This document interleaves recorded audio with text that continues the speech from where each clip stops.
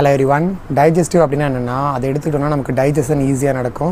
Carminative அப்படின்னா என்னென்னா நம்ம ஸ்டொமக்கில் ஃபார்ம் ஆகிற கேஸை வந்து ப்ரிவென்ட் பண்ண நம்ம கொடுக்க நம்ம எடுத்துக்கிற ட்ரக்ஸ் தான் ஆர் ஏஜென்ட்ஸ் தான் வந்து கார்மினேட்டிவ் அப்படின்னு சொல்லுவாங்க. ஸோ இதுதான் டைஜஸ்டிவ் அண்ட் கார்மினேட்டிவ்